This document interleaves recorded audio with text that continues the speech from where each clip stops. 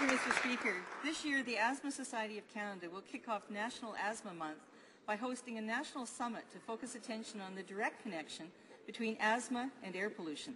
In collaboration with Physicians for the Environment and the Lung Association, they've called for urgent action to address substantial and increasing impacts of unnecessary sources of pollution on our health, including coal-fired power.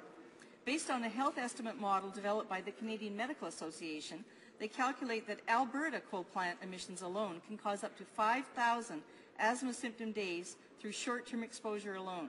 Absent additional pollution controls by 2030, they predict an estimated 105,000 asthma symptom days. The federal minister will address the summit. By asserting her legal duty to impose pollutant standards that address health risks, she can fast-track the decommissioning of Canadian coal plants.